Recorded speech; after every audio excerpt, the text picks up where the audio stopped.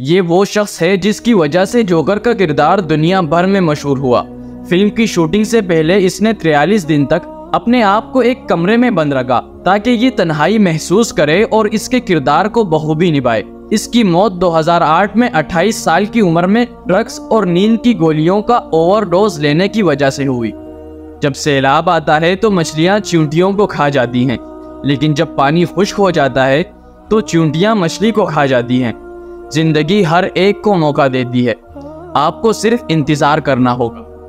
कुछ लोगों के पास कुदरती अलार्म होता है कि जिसकी मदद से वो जब चाहें जाग सकते हैं। शायद आपके साथ भी ऐसा हुआ हो कि आप ये सोचकर सोए हो कि मैंने सुबह चार बजे उठना है और एग्जैक्ट उसी टाइम आपकी आँखें खुल जाती हैं। दरअसल, ये तनाव के हार्मोन्स की वजह से होता है। जब आप किसी काम के लिए बहुत ज़्यादा फिक्रमंद होते हो तो आपका दिमाग एक अलार्म के तौर पर काम करता है। ये जो तस्वीर आप देख रहे हैं, आपको जान के हैरानी होगी कि एक शख्स ने इस बालू के सारे बाल शेव कर दिए। सिर्फ़ ये देखने के लिए कि ये बगैर बालों के कैसा लगेगा, जो यकीनन देखने में बिल्कुल भी अच्छा नहीं लग रहा, बल्कि खौफनाक लग रहा है।